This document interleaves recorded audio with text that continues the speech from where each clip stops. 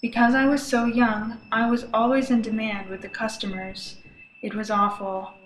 Eventually, I became pregnant and I was forced to have an abortion. They sent me back to the brothel almost immediately. On January 14, 2011, undercover investigators went into Planned Parenthood of New York City posing as a pimp and his prostitute. Sex trafficking of minors is a federal crime and punishable by imprisonment for 10 years to life. Any person who aids, abets, or counsels a federal crime to be committed may be punished as if they had committed the crime themselves.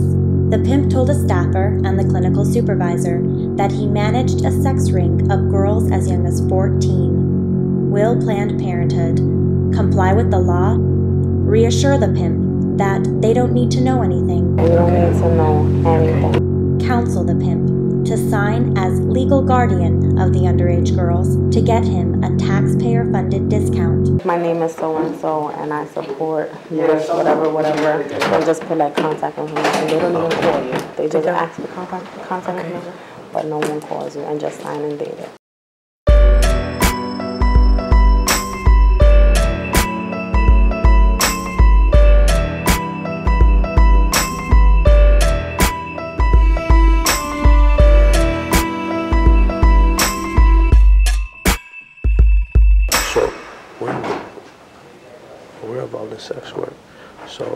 Some other girls that we manage and work with that they're going to need testing as well. So do you guys see them or? Yeah, we see Teen services. Yeah, yeah. Okay. Yeah, we see people as young as 13 years old. We see people as young as 13. As young as and 13. everything is Because they're, they're confidential. 14, 15, Yeah, and everything is totally confidential. They can come in, make the appointments. I can give you guys the numbers. You can make the appointments over the phone.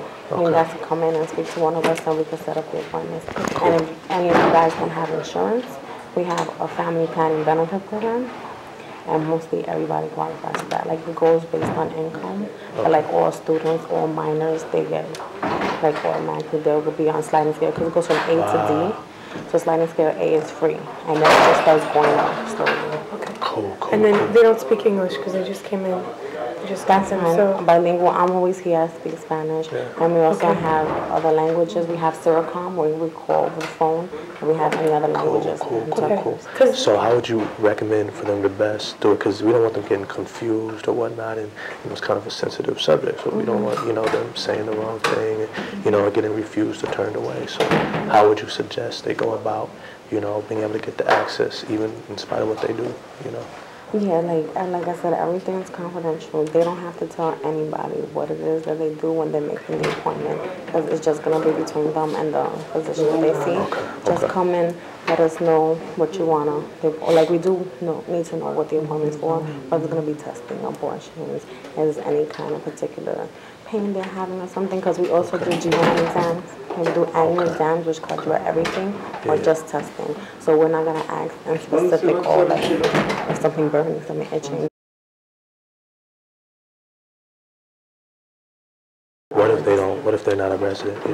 What if they're not a resident? They don't have That's any fine, like for our benefit program, we do require that they bring in some documents, but if they don't have it, we just ask that they bring whatever they ha- can. Just bring. whatever they have. a photo ID or something. Yeah, we ask them to bring a photo ID, Yeah. proof of address, proof of income, and Proof of that's it, medical. and certificate. They don't have, like, a they- nine to yeah, if they're five not- job, Yeah, you if they're not so- working, or they even like work in the after-school program, that's considered unemployed, so they can have like a family member or Just say friend, or unemployed. one of you guys. Well, yeah, they like, wouldn't- You can find somebody, you can find somebody. You wouldn't need to know that if they work at night and do whatever. Yeah, okay, they do. None of that. We don't Okay. need to know anything. Everything's totally confidential. Just when like you can even write the letter and state. Oh, oh, like, good. My name is so and so, and I support this, whatever, whatever. And just put like contact information. They don't even call you. They just don't? ask for contact contact information, but no one calls you and just sign and date it. Okay, so ID and And whatever you don't have, they could just bring in whatever they do have. and Just speak to them, and I'm sure they could work on it. okay, good. Oh, I'm glad it could work out. And, uh, let me see that.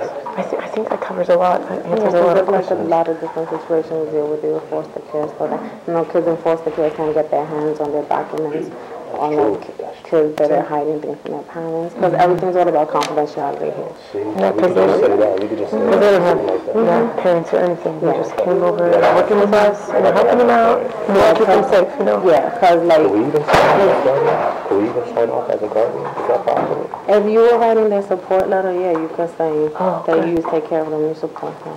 Mhm. But nothing here, like, they're not our patients, we don't ask for a guardian signature. Everything is the patient, like a thirteen-year-old could come in and get the services she needed by herself. Something like that. Okay, that works, that works, that works. What's your name again? Help My us name's out. Crystal. Crystal, Crystal, all right. Okay. You're good, Chris. Thank you, guys. You're welcome. Have a good one, okay?